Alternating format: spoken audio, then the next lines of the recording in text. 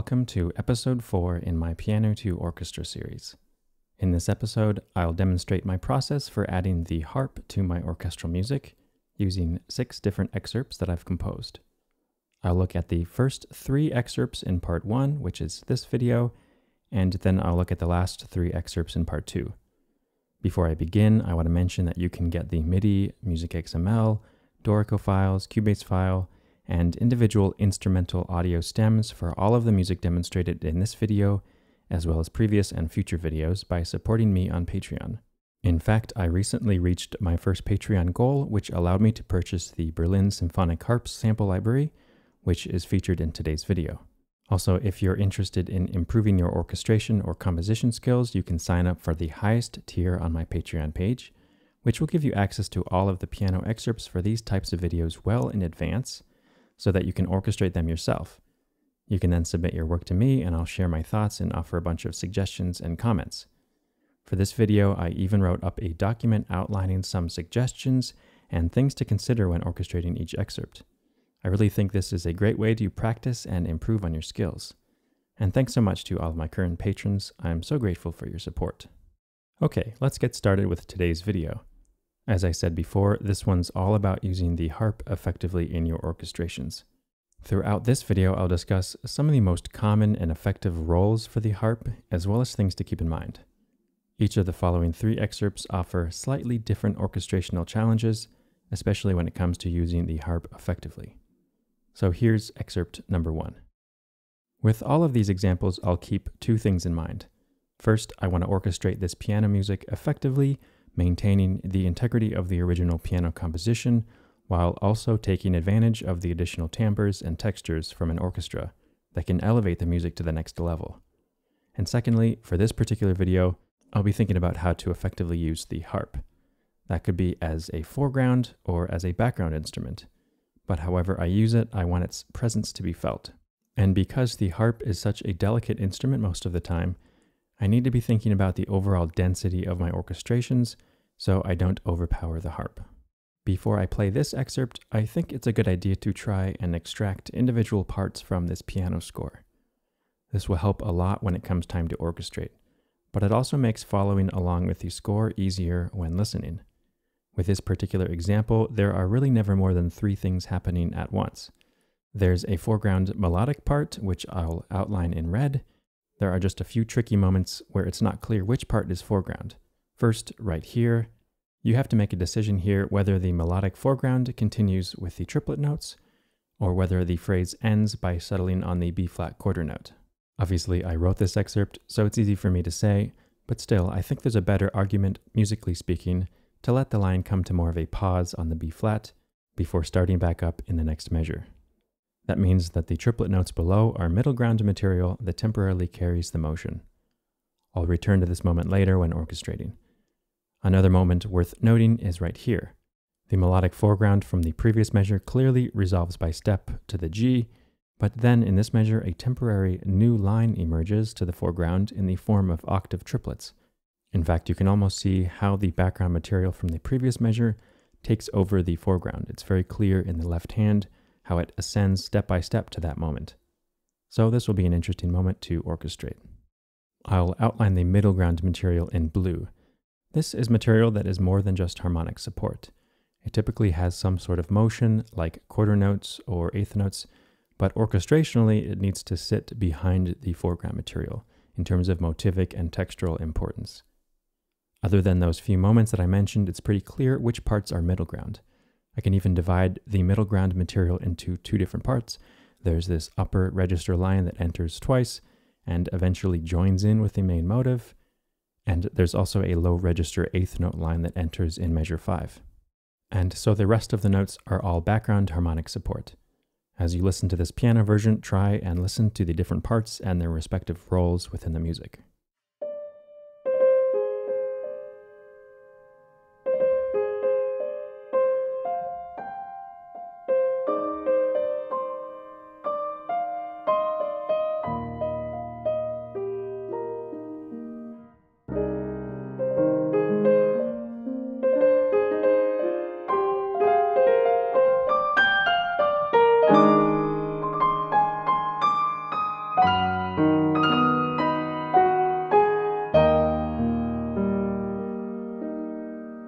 First question is how should you use the harp in this excerpt? My instinct is to have the harp more of a background instrument. This foreground motivic material would not suit the harp idiomatically, and upon first glance, perhaps these eighth notes in the middle ground might suit the harp better. To have its presence felt earlier in this excerpt, I'll have to add material for the harp that's not written in this piano version, for instance, something like a glissando. But I'll worry about the harp after I've taken care of the foreground material. Here's that same piano score, however, I've separated the different parts into their own staves. I'll start by orchestrating the main motivic material. I'll focus on this first phrase, measures 1 through 4. Because of the register that it's in, as well as the dynamic markings and grace note ornaments, I think it's most suited for a woodwind instrument. This particular line would work well for flute, oboe, or clarinet. I'll give it to a solo flute, at least initially.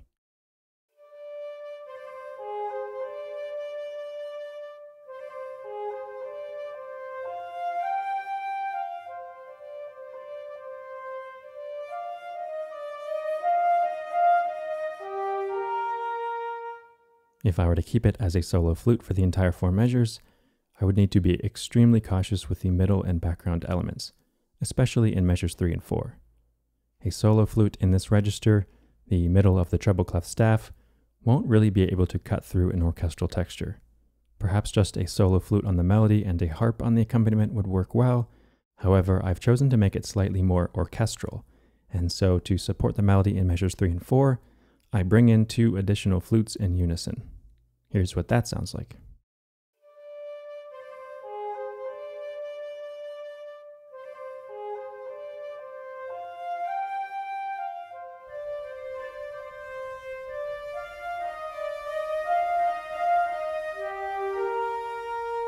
So focusing still on the first four measures, I'll turn my attention to this material here. I need a sustaining instrument and I want to avoid woodwinds as it might draw attention away from the woodwind melody. I think violins would work as long as they are given very low dynamics. I chose to have violin 1s muted and also divided in half in octaves. This way they won't get in the way of the flutes.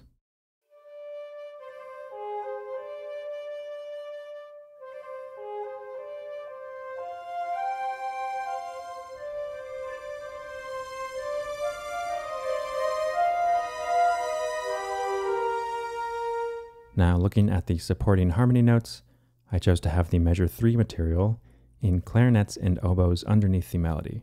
At a low dynamic, these instruments can stay out of the way of the three flutes.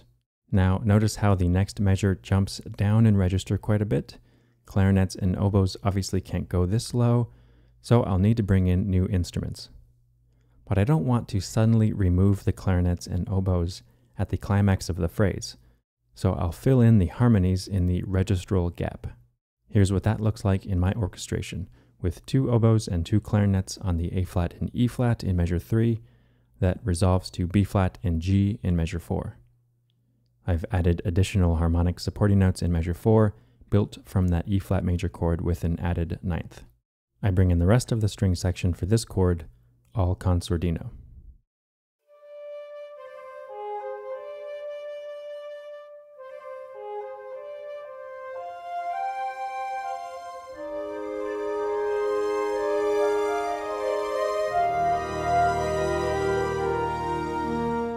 Lastly, I want to add harp.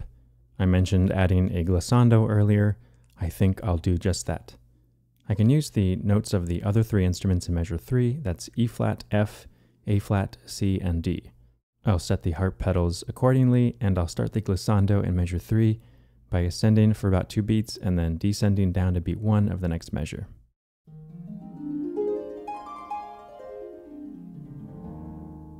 So let's hear how these four measures sound all together.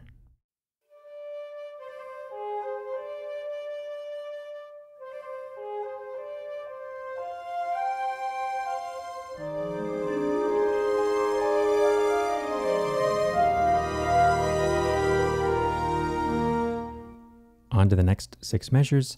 I won't spend quite as long discussing each part of the music here, but essentially I continue what I was doing with woodwinds on the melody and strings on the accompaniment. I begin measure 5 with two flutes plus two oboes in unison and an English horn a clarinet, and a bassoon in unison down the octave, all on the melody. Like before, I bring in the violins on this upper register material. Violins are joined by piccolo on the measure 7 triplet gesture. Meanwhile, I placed the low register eighth notes in harp, and in measure 7, a clarinet is added to this octave of the triplet gesture. I also have low strings on sustaining harmonies, essentially an A flat major triad in first inversion that shares a register with the harp eighth notes. This brings us to the last three measures. I've been slowly increasing the overall texture in terms of adding instruments and increasing dynamics. So in measure 8, I want a much fuller texture, and considering the violins are already in that register, I keep them on the melody alongside flutes and clarinets, and I decided to also bring in violas down the octave and celli down two octaves. Keep in mind that these are all still muted. I have the strings and winds land on a fully orchestrated E flat major chord in the last measure. Once again, I have harp on the low register eighth notes. With a much thicker orchestral texture here, there's a chance harp will get swallowed up a bit, but I wasn't too worried about potentially losing these eighth notes. And lastly, I bring in horns on the sustaining harmonies alongside bassoons starting in measure 8. Let's hear these six measures.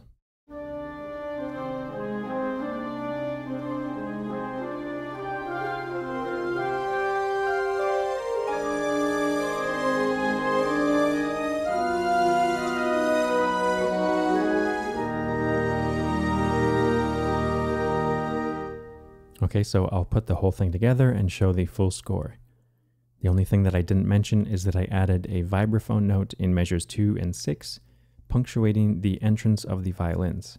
It really helps the sound of the strings emerge from the texture with a sort of bell-like sound. Okay, so here's the full version.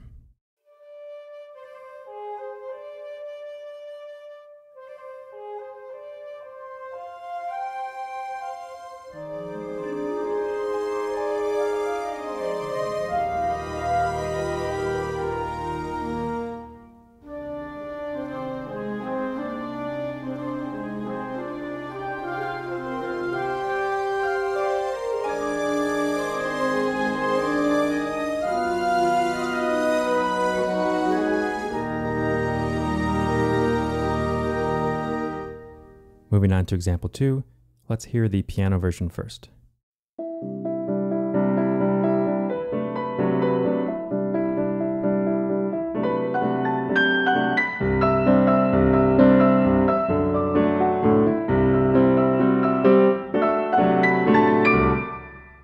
Two main things I want to focus on with this one. First, do I want to maintain the alternating high and low register eighth note configuration as it is in the piano? Or is that simply a pianistic texture that when orchestrated verbatim wouldn't be as effective? If that's the case, I might just have the low and high register parts on constant eighth notes, like I'm showing here in the first five measures. I think this question is directly related to the next thing I want to focus on, which is density. In this piano version, I mark the starting dynamic as piano, but from there on, there are just crescendos and diminuendos, no indication of how loud to crescendo to. That allows the orchestrator some freedom in just how big of a sound he or she wants. And depending on the number of instruments and density, I think the decision to have alternating high and low register eighth notes versus constant eighths becomes very important. With just a few instruments, specifically instruments like the piano, so that would be harp, mallet, percussion, things like that, I'm much more inclined to have the alternating high and low eighth notes.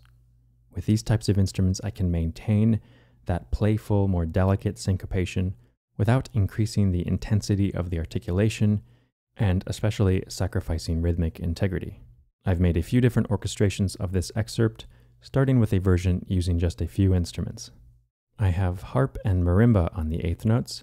Marimba can be played with up to four mallets depending on the difficulty of the music, but here I stick to only three mallets, or three notes, while harp has more or less the same music from the original piano version. Here's what they sound like paired together.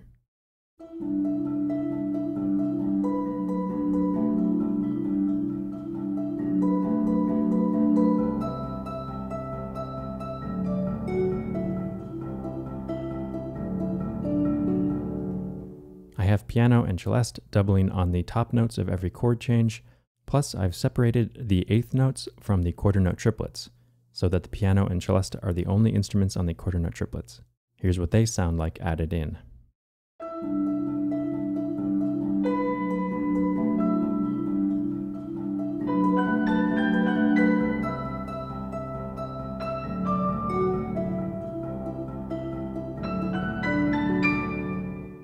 Lastly, I have sul tasto strings on sustaining long notes that occupy the same register as the original piano notes. They really help to warm up the overall timbre, and the low strings support the harp in the low register. Also, the violins double on the descending melodic gesture in measure 8. Overall, this is a very thin orchestration, but I maintain that delicate back and forth eighth note concept that was a main component of the piano version. So let's give this a listen.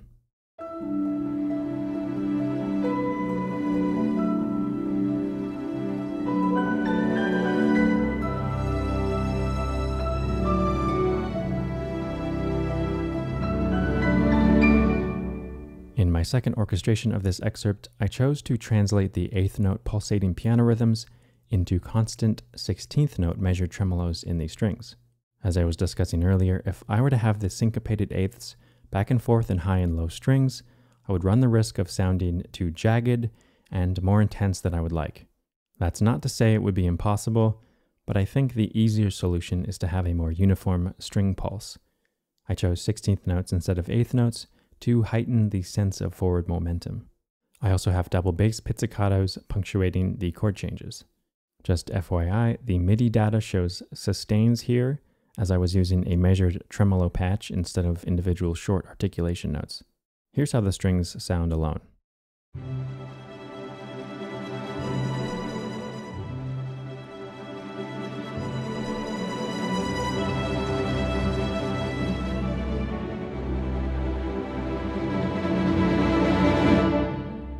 Next, I'll add in the percussion, piano, and harp. The harp has essentially the same part as in the first orchestration, so does the piano. Instead of celesta, I now have vibraphone and glockenspiel filling a similar timbral role, and I've removed marimba from the texture. In addition to the pitched percussion, I have a suspended cymbal playing soft single notes in measure 1, 4, and 6, as well as a rolled crescendo at the end. Similarly, I have timpani, roll, and crescendo on the note C in the last measure. As you can see, I've basically copied what I did in the first version, but shifted things around just a bit, keeping in mind what will sound well in a slightly larger orchestration. It's all about balance. I added more density in the strings, so I balanced that by changing the density of the percussion, and the timpani and cymbals will help with that quite a bit. So let's hear just these instruments.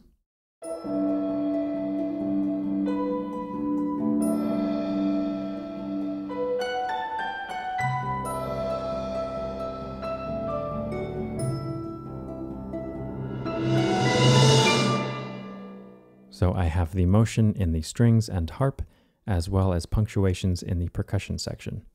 So to support both of those things, I decided to have woodwinds on sustaining notes, essentially doubling the register of the strings.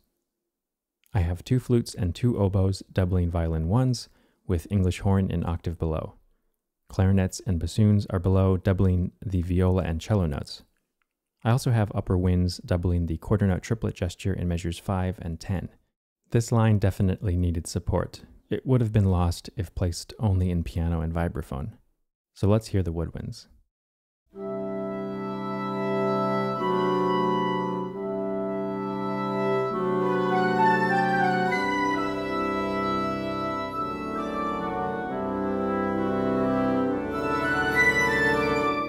Putting together strings, winds, and percussion, here's version 2 of this excerpt.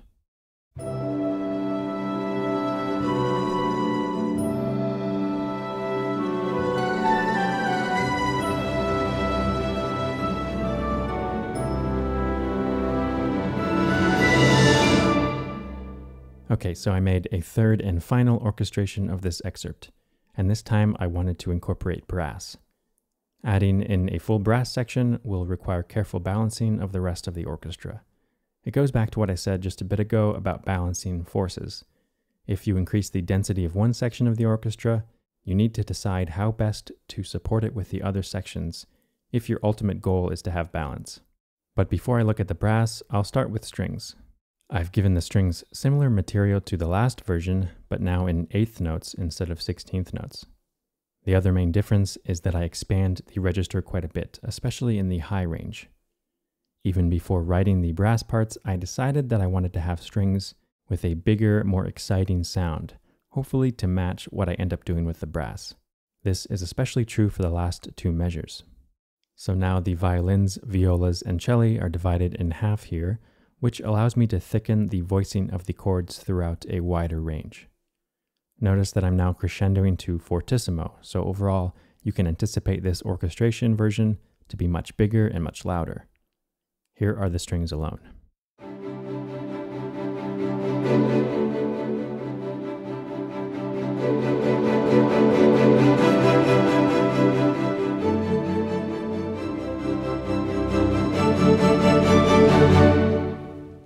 Now add in the brass. I've decided to have trumpets and trombones muted with straight mutes. There's a certain type of energetic sound that I'm looking for, and muted brass gives me that energy level with less density and less intensity than unmuted brass. Even though I'm headed towards a fortissimo sound in the last measure, I still want to take into account the original piano dynamic marking in measure 1.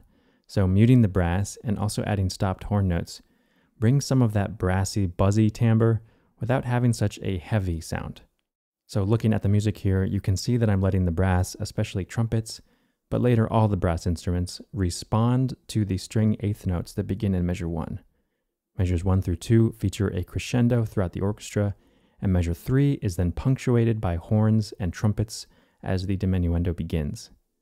That three measure phrase idea repeats, this time with trombones joining in and tuba punctuating the bass note.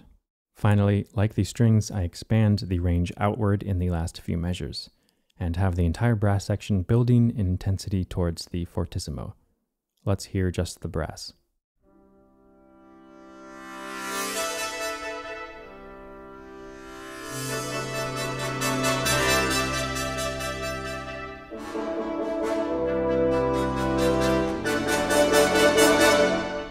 Next we have woodwinds.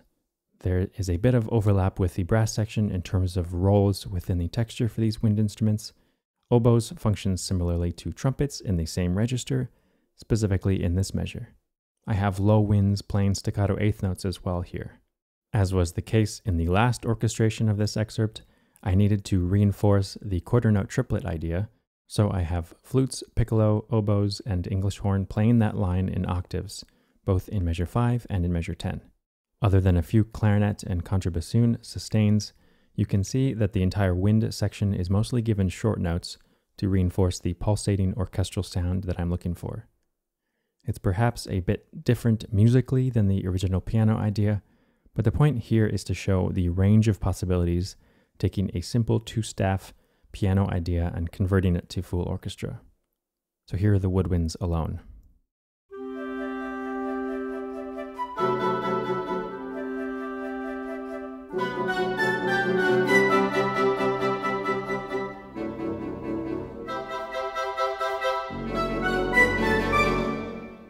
Next, we have percussion.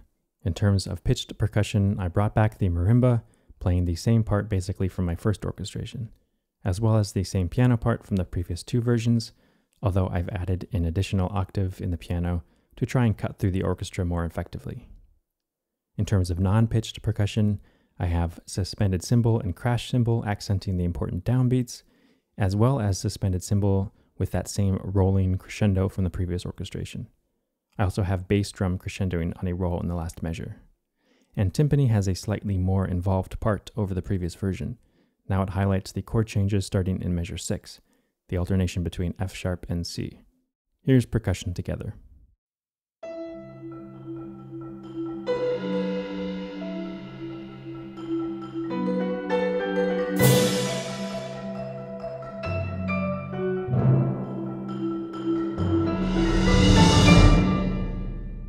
And finally, I want to spend a moment to look more closely at the harp part here.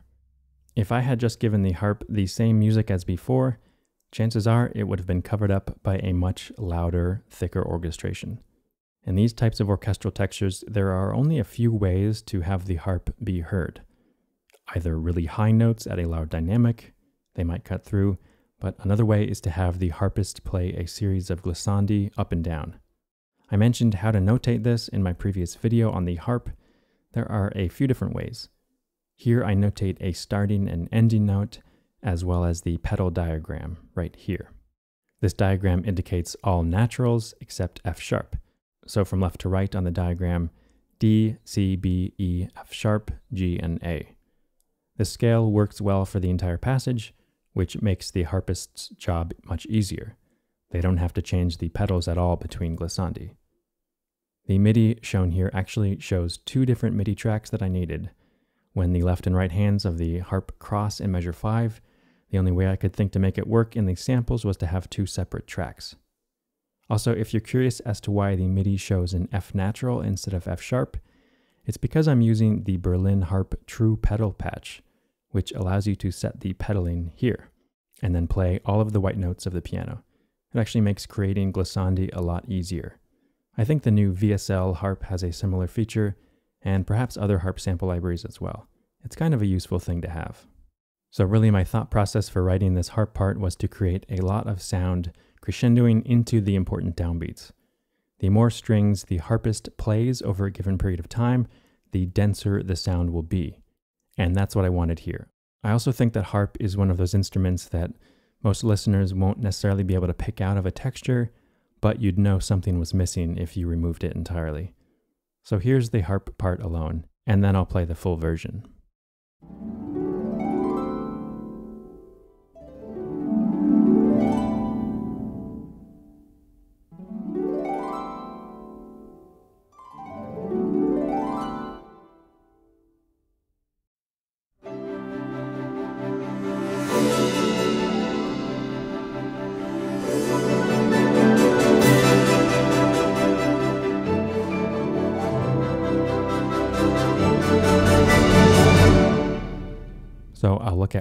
Example in this video, and then I'll look at three more in part two of this episode.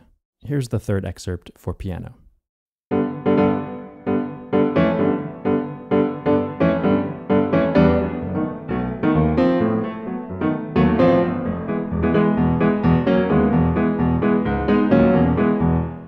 You might notice that the overall register is quite low.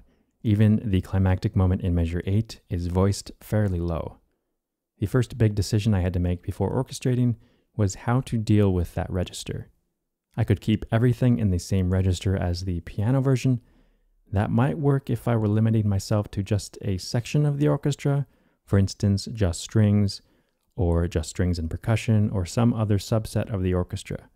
But if I were to use the entire orchestra and only stick to that range, I would worry about muddiness in the low register. After spending some time thinking about my options, I also decided that the best way to orchestrate specifically these last four measures would be to expand the register upwards and use the full orchestra. I'll exaggerate the syncopation between left and right hands and try to create a lively, almost bombastic orchestral timbre. As I did with excerpt number one, I'll add an additional staff to this piano score and show my process for not only expanding the register, but also adding new textures and orchestral effects. I'll begin with just the first three measures. So the first thing that I want to do is to expand the register up. The easiest way to do that would be to double this triad up the octave, like so. I'll refer to this process as making a short score. The term short score, at least how I use it, is usually between three and four staves, and it's meant to show all the different components of the full orchestration, like an orchestral reduction. Often a simple two-staff piano score is insufficient for showing all of the layers and textures that go into an orchestration, so here I'm showing three staves, although for these first three measures I don't need all three. So here you can see the expanded register upwards. The first three measures are fairly simple, but the next four is where it gets more interesting. Like the first three measures, I'll expand the register upwards, but I also think the texture needs something rhythmic to reinforce the syncopation between the left and right hands of the piano. So here's what I came up with. In the lower two staves, the only thing I've changed is to double the left hand in octaves. This will help reinforce the bass notes. In the upper staff, I've added new material that reinforces the dotted eighth note rhythms using 16th note syncopation. You can see here how the rhythms align with the staff below. I've also added a 16th note ascending line in both of the 3-8 measures. This line will be great for either wind, string, or perhaps mallet percussion runs. Let me play these four measures in piano, first the original, and then what it sounds like with the added material.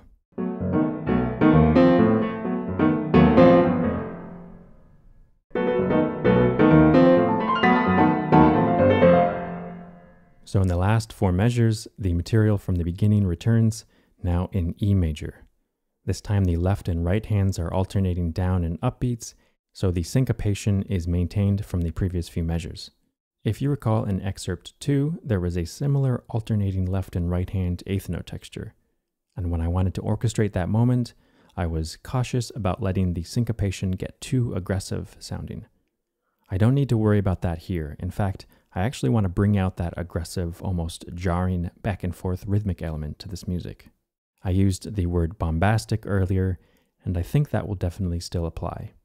So in the expanded short score, all that I've done is to expand the voicing upwards. I suppose you might argue that this isn't accurately capturing the register of the original piano version, and that's fair.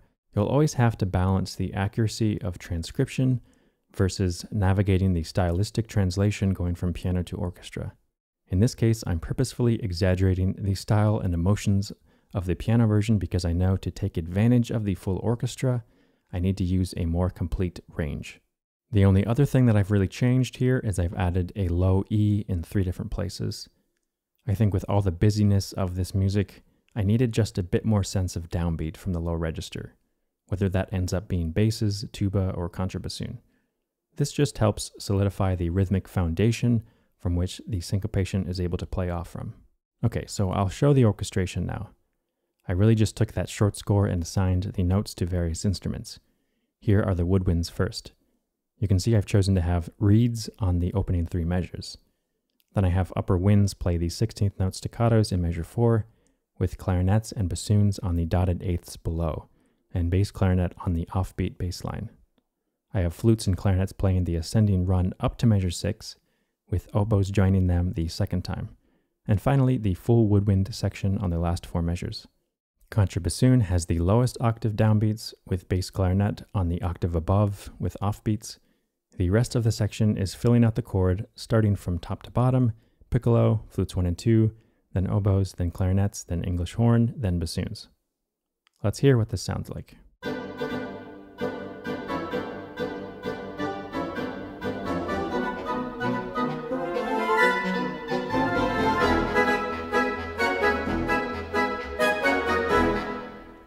Brass, I open with two horns, two tenor trombones, and bass trombone. So they're essentially playing the same thing as the oboes and bassoons, voiced in a lower octave. In the next few measures, the brass isn't as involved, just some horns playing downbeat staccatos and crescendos in the 3-8 measures. I bring in trombones on the second 3-8 measure, leading us into the final bars. And here I bring in trumpets and the rest of the brass section. Tubas are doubling the contrabassoon and the low octave, trombones have the offbeats, and horns and trumpets are together, playing the same thing as most of the woodwinds. So here's what the brass sound like alone.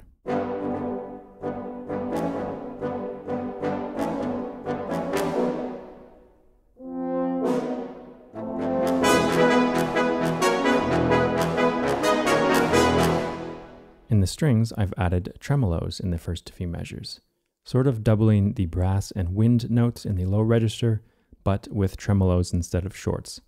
The tremolos help to establish an immediate sense of urgency and excitement. I think this really helps the continuity throughout these 11 measures. I have pizzicato celli and bass doubling bass clarinet in the next few measures, with violins on sustaining tremolos again. I also have violins doubling the flute and clarinet runs in the 3-8 measures. In the last four measures, the upper strings are divisi, playing the same music as trumpets, horns, and upper winds. The celli are divided in octaves, playing along with the trombones, and the basses are doubling on that low tuba and contrabassoon part. So here are the strings.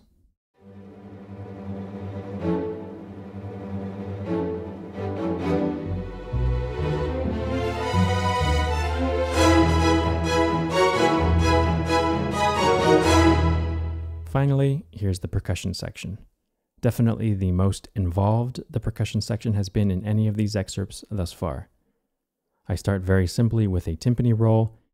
In the next section, I bring in xylophone, doubling the flute staccatos, and harp, doubling the cello and bass pizzicatos. I also have a crash cymbal playing short notes on the offbeats, and decided to have temple blocks play 16th notes on that first 3-8 measure in a similar fashion to the woodwind and violin runs. That percussionist then switches to tambourine for the last section. I was looking for instruments here that have a lot of high frequency energy with a relatively short ring time. Tambourine and also snare drum worked well here on the offbeats, with bass drum reinforcing the strong beats. Notice also that I'm not going crazy with harp here. I want to keep the clarity of the orchestra intact, so unlike the previous excerpt, I don't want a lot of density throughout, which is what I would get with a glissando. So I'm just keeping them on those strong beats in the low octave with bass drum, tuba, contrabassoon, and basses. Let's hear these instruments on their own.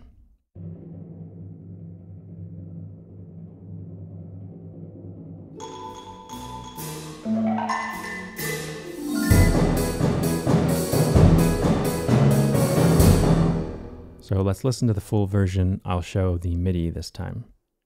This one was a lot of fun to compose and also to mock up with samples. And once again, if you're interested in actually having these MIDI files or notation files, there's a link to my Patreon page in the description box below.